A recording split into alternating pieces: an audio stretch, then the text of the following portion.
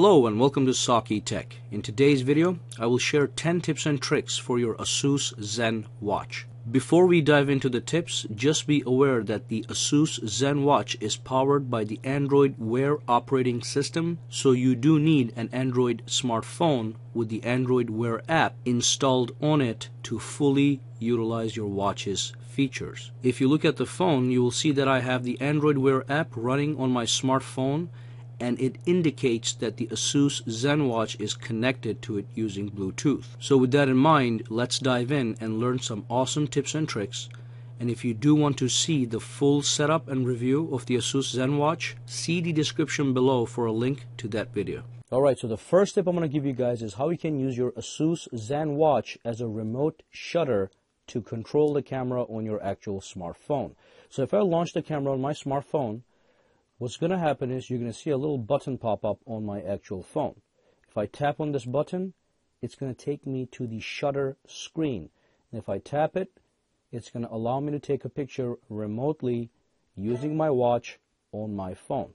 Okay, so after you take the picture, you get a slight, a, a small preview of the picture you just took. You can slide that away, and the button is going to stay there as long as you have the app, the photo app running on your phone. So if I tap this again, I can take one more picture. And there's also a built-in three-second timer. Okay, so that's how you use your uh, watch as a remote shutter for your phone's camera. Now there is another even better way to control the camera on your phone using your watch. So what you have to do is you have to go and download ZenWatch remote camera app for the Asus ZenWatch. Now this is an, only an ASUS only feature, so you're not going to get this on other watches. So once you grab this app right here, you have two options. So assuming you have installed it, you can either launch it from here, or you can go to the apps for your actual watch, which are all the way at the bottom under the start menu. You tap that. If you scroll down, you will see the remote camera. So let's launch it and see what you can do and how much better this is than just a regular remote shutter. Let's tap that and what that's going to do is that's going to launch the application. Now the first thing you can do is you can take an actual picture simply by tapping on the screen. So tap and that takes a picture and there's no countdown timer. Now the other thing you can do is you can pull from bottom to top and you get a menu. In this menu you can switch from camera to video mode you can, by tapping this button, you can have a timer. Now we have a five second timer. So if I tap this,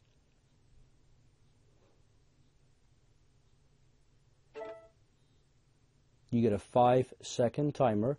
And then the other things you can do, you can go back, turn off the timer. You can also enable or disable or create the flash to be auto. So right now it's in auto mode. Tap it one more time. This is always on for the flash tap it one more time and that's going to disable the flash. Okay, so let's do one with this. Pull it down, take a picture, and as you can see, the flash just fired. And then the other thing you can do is you can actually do digital zoom using this um, this app. So as you can see, we are in fact digitally zooming in and zooming out, which is absolutely fantastic. And uh, two more final things. If you pull this up, you can switch to the video mode. So from here, if you tap this, it's going to start recording a video. And then another thing I want to show you guys is, let's go back to camera mode. Now what you can do is when you move this um, camera, you actually get a live preview of the viewfinder on this phone right on the on the watch. Okay, so as I move this around, you can see the viewfinder in the phone is also moving. So that's the ZenWatch remote camera app that you can download for your ASUS ZenWatch. And remember, this is a ASUS ZenWatch feature only. Alright, so the next tip has to do with how you can use your watch to control the music player on your phone. So let's uh, start it right from here. So tap on the phone, go all the way down, and this takes you to the apps. When you go all the way down to and go to start, it takes you to the apps installed on your watch. Tap it, scroll down until you see play music, and once you see play music, simply tap on it. And what that's going to do is that's going to start the application right on your phone.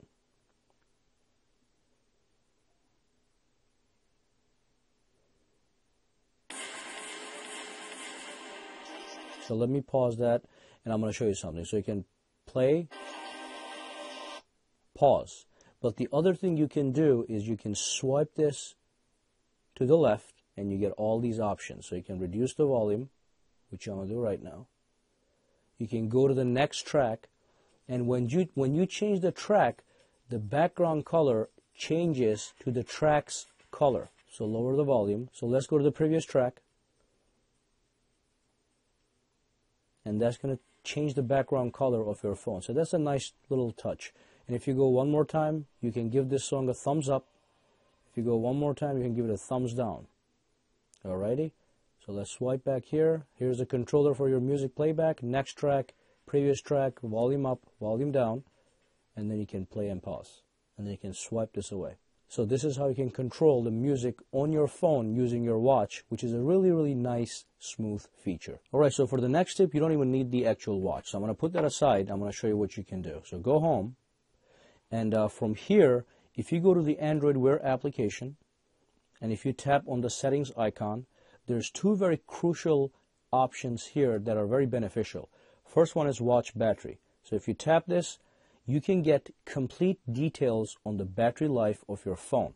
And if you look on the top here, you'll see that you have 59% battery life left on your uh, watch, approximately 13 hours left based on your previous usage. And you see the blankness over here? That means the phone, I mean the watch was simply shut off at that time. And if you go down here, it'll give you the percentage for what app or system utility has been using the battery life. So just by having the watch idling, I wasted 10% of the battery life. The screen took 6%, the wellness app took 1%, and so on and so forth. But this is fantastic because you can get some in-depth battery information. Especially I like it when you can see approximately 13 hours left for your battery to die on your watch. Now the other tip, in conjunction with this guy in the same app, is watch storage. Now, as you know, ASUS comes with a 4 gigabytes of storage, built-in storage, and this will give you the breakdown of how your storage is being utilized. So if you need to clean up your watch, you can go go and do so, but this is perfect. So this game here, uh, Tic-Tac-Toe, is taking 12 megabytes of my watch's storage. And the remote camera application we just downloaded and installed, the one that I just demoed for you guys, that's taking 12 megabytes right here and same with all these uh, different watch faces and all these tiny system utilities. All right, so the next tip has to do with the watch manager. Again, this is an ASUS only tip. If you buy the ASUS ZenWatch, it comes with this watch manager app you can find and install on your smartphone on the Play Store. Now, just by installing this application, you get a lot of uh, functionality boost for your watch. So let me show you how that works. If you launch this application, really nice interface, but if you scroll down, here's all the things you can do ZenWatch app. So one of the one of the ones that I really like is Find My Watch. So if you misplaced your watch somewhere, you can tap this and your watch starts to vibrate. And what you can do is you can once you find your watch, you can simply swipe to dismiss. Okay? And it stops the vibration uh, through the phone as well. And the next feature is something I absolutely love. So it's called Forgot Phone Warning. So if you tap this, Okay, let's read this. It says, by turning on phone forgot warning, ZenWatch will vibrate to remind you when the phone is not around you. So basically you turn this on and off up here. You see that button right there? That's off and that's on right there. So let's say you were wearing your watch in your hand, but you forgot your phone and you're walking away. What's going to happen is after a certain distance elapses between you and the phone, your watch is going to vibrate telling you your phone is out of range. So then you can go back and you can grab your phone so you don't forget it. And then if you tap this green icon at the bottom that says recommended for you, it's going to give you all the recommendation of apps that you should download. And these apps will work in conjunction, conjunction with your watch which is going to enhance the usability of your watch.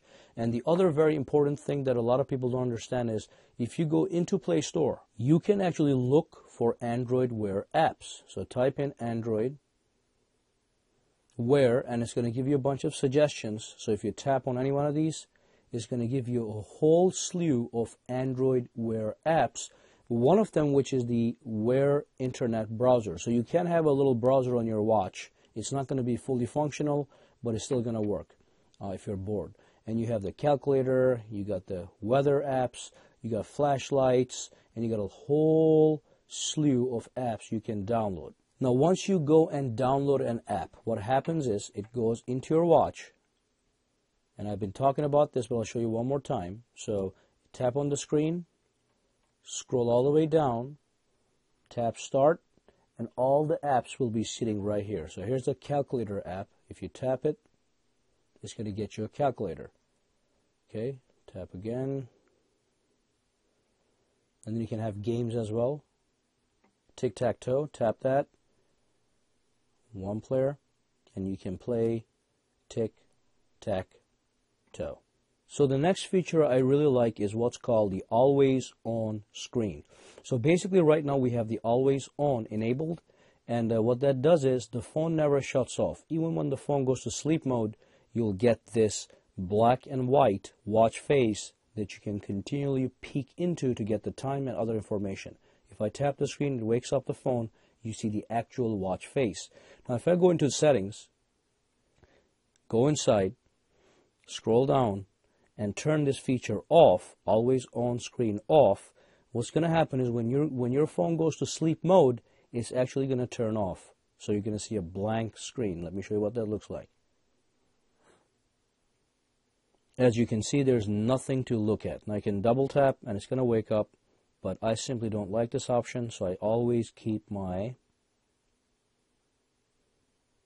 screen to be always on. It is going to waste a little more battery life, but it's worth it.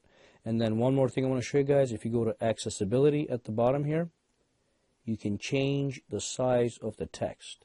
Large text, so the text is now larger, okay? And that's going to be across the board.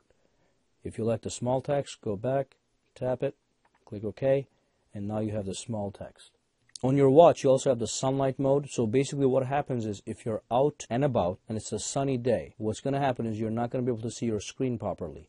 So what the sunlight mode does is it it is it gives you a boost in your screen brightness so you can actually see the screen for a couple seconds with that increased brightness. So all you go you, all you do is like I just did, go to settings, sunlight mode, and as you can see there was a boost in brightness on your watch for a few seconds and that actually helps if you're under sunlight and cannot see your screen. Alright, so that brings us to the end of this video.